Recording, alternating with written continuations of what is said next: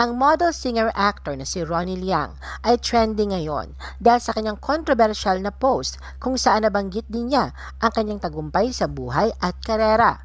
Lingid sa kaalaman ng karamihan na si Ronnie ay dumaan muna sa matinding pagsubok sa buhay bago natikman ang tinatamasang tagumpay ngayon. Narito ang kanyang kwento. The Philippine Showbiz List presents The Ronnie Liang Career Success Story. Life Before Showbiz. Si Ronnie ay nagmula sa mahirap na pamilya kung saan siya ang bunso sa pitong magkakapatid. Mayroong maliit na talyer ang kanyang ama sa kanilang hometown sa Angeles City, Pampanga at bilang bunso ay napakiusapang tumigil muna ng pag-aaral pagkatapos niya ng high school dahil wala nang maipagtutusto sa kanya.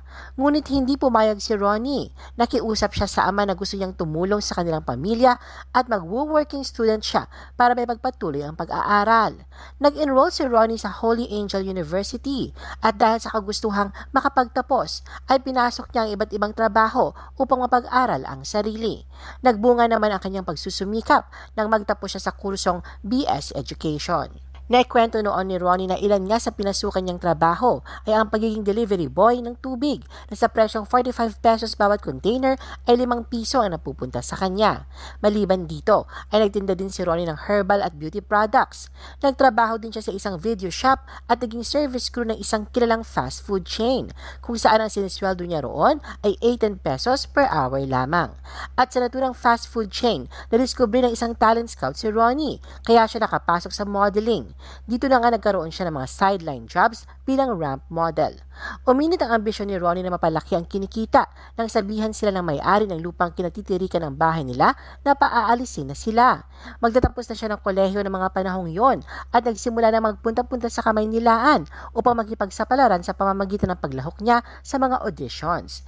Hinihiram pa nga ni Ronnie ang sapatos ng ama na kung babalikan daw niya ang itsura niya noon, matatawa na lang siya dahil sa masyadong maluwang ang suot niyang sapatos na nakabuka pa ang swelas.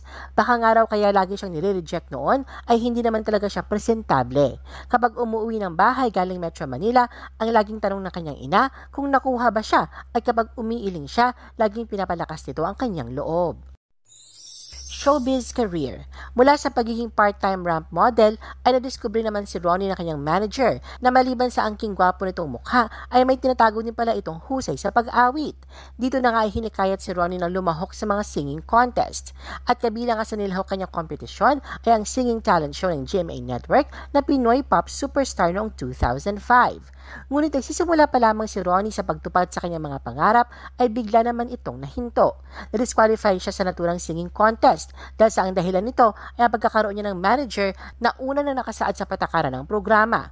Nabaliwala ang maraming linggo niyang pagiging champion, ngunit sa kabila ng nangyari ay hindi nawala ng pag-asa si Ronnie at nagpatuloy sa pakikipagsapalaran. Masasabi namang blessings in disguise ang pagkakatanggal ni Ronnie sa naunang kompetisyon at tunay nga kasabihan sa tuwing may magsasara ng pinto, paniguradong may bintanang magbubukas. Muling sinubukan ni Ronnie ang kanyang kapalaran sa bakuran ng ABS-CBN kung saan siya ay sumali sa Season 1 ng Pinoy Dream Academy noong 2006.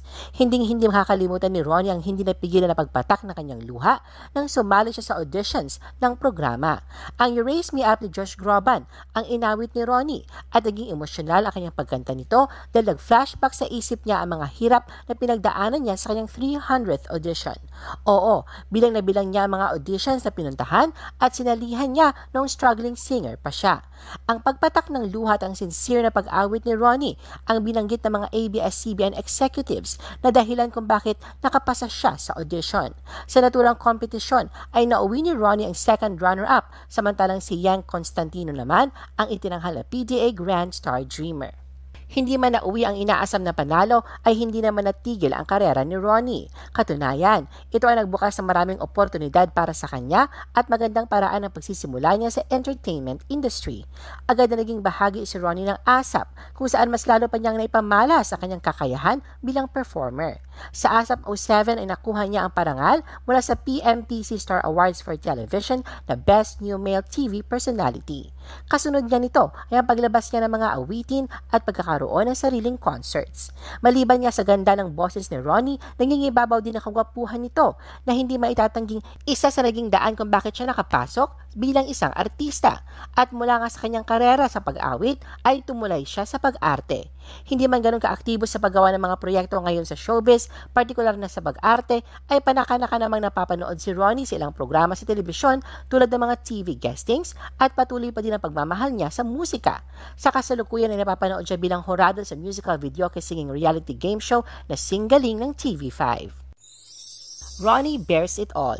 Ngunit kung may isang proyektong ginawa si Ronnie na talagang nakasubok na kanyang kakayahan bilang aktor ay ang kauna-unahan niyang pinagbidahang indie film na Esoterica Maynila noong 2014. Sa isang panayam noon na sabi ni Ronnie na kung mapapakita raw siya ng katawan, maganda na yung siya na ang bida ng pelikula kaya nung dumating ang isang oportunidad na alam niya bibihira lang ay hindi niya ito tinanggihan.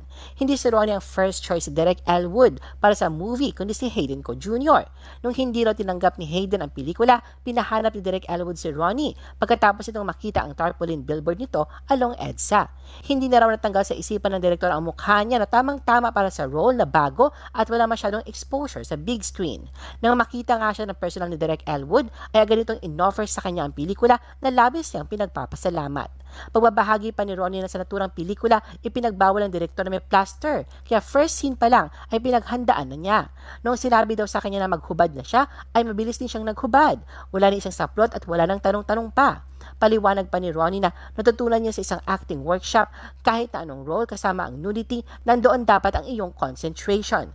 Kailangan wala kang hiya dahil acting ito na ipinapakita ang iyong karakter at hindi ang katawan lang. Kaya natanggal daw lahat ng inhibitions ni Ronnie nung ginawa ang pelikula. Naghanda rin daw siya ng husto para sa kanyang mga masiselang eksena at natuto nga raw siyang ikontrol ang sarili kapag may naramdaman siya sa mga sexy scene. Aminadong wala siyang experience na artista sa paggawa ng pelikula ay nagbunga naman ang pagiging bold at daring ni Ronnie dahil sa naipamalas siyang performance, ito na makamit niya ang panalo bilang Best Actor sa Gawad Pasado. Ronnie's career life outside showbiz. Mula sa kanyang karera sa showbiz ay hindi naman nilimitahan ni Ronnie ang mundong ginagalawan at ang sariling kakayahan na maipakita ang kaya niya pang gawin maliban sa pagiging singer at aktor. Katunayan, malayong malayo sa larangang kanyang unang pinasok ang piniling bagong karera. Kung hindi man aktibo bilang showbiz personality, ay aktibo naman si Ronnie sa ibang bagay. Noong nakaraang taon sa pamamagitan ng Instagram, ay masaya niyang ibinahagi na natupad na kanyang childhood dream at ito ay maging isang licensed pilot matapos ang tatlong taon sa flying school. At sa naging panayam kay Ronnie noong March 2022, ibinahagi niya na 100 hours away na lamang siya upang matupad ang biggest dream na maging commercial plane pilot.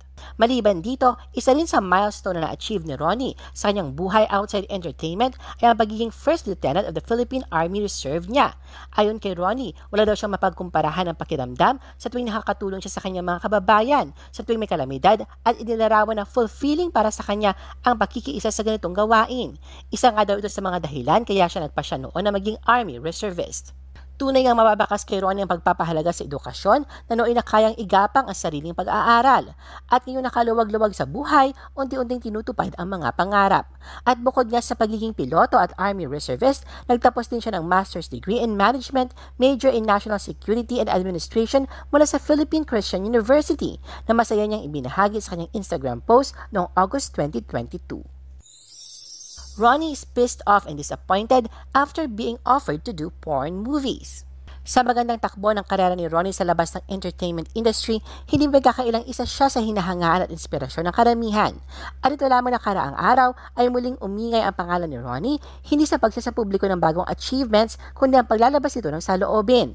Nag-ugat ito sa social media post niya, ito lamang November 10, 2022 kung saan ay kinadismaya at ikinagalit ni Ronnie ang natanggap niyang offer para gumawa ng porn movie. Anya, hindi siya nag-aral ng kolehiyo at masteral degree para lamang iladlad ang pribadong bahagi ng kanyang katawan sa publiko. Hindi naman sa pagmamayabang, anya, isa na rin siyang reservist sa Army bukod sa pagkakaroon ng master's degree. Dagdag pa niya madami pa siyang pwedeng gawin at pag ginawa niya raw ito, madaming mawawala sa kanya. Bukod dito, isa rin siyang Christian at ang lahat ng mga ginagawa niya ay iniaalay niya sa Panginoon. Importante rin daw sa kanya ang respeto sa sarili at sa mga kapwa na sa showbiz at sa labas nito. Wala rin daw problema sa kanya kung wala siyang movie project sa ngayon.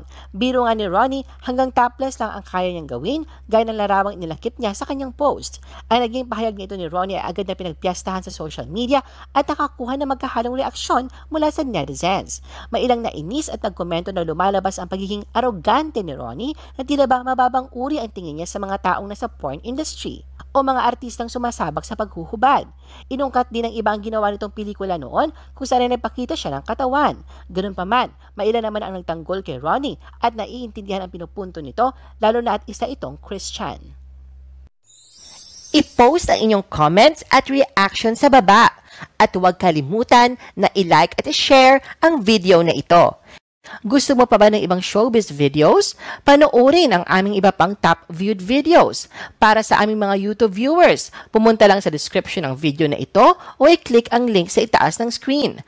Para naman sa mga Facebook viewers, ay maaari ninyong hanapin ang mga link sa comment section ng video. I-follow nyo din kami sa Facebook at mag-subscribe sa aming YouTube channel. Thanks for watching!